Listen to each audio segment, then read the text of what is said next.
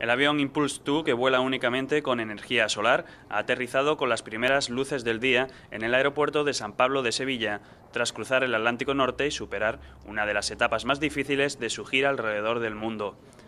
El aparato aterrizó a las 7.38 hora local a los mandos del piloto suizo Bertrand Picard.